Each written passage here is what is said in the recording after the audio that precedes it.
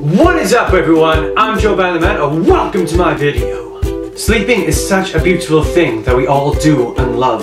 Did you know that the average person needs about 7 to 9 hours of sleep to function at their best?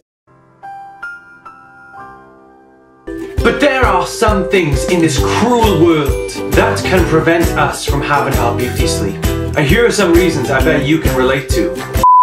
When you're too warm, so you stick your leg outside the bed, but then you remember, you don't want the monster to think you're offering it a snack. Thinking about all the mistakes you've done in your life. Why? Why didn't you save them, Joseph? When you're too hot, but also you're too cold, and you feel like you're dreaming, but you're not.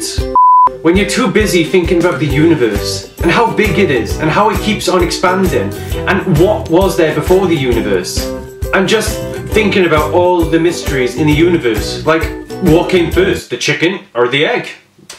Personally, I think it was a mix between a chicken and an egg called the chegg. Not being able to breathe because you're too busy hiding under the covers from the monster.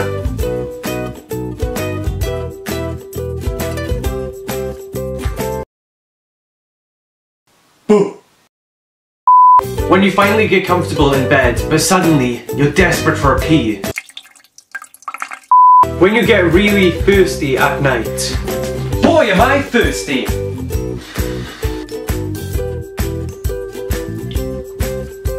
Just take a drink to bed with you. There we go, problem solved. Well everyone, that's about it. I hope you all enjoyed this video. It was so much fun to make and have a great day. Bye!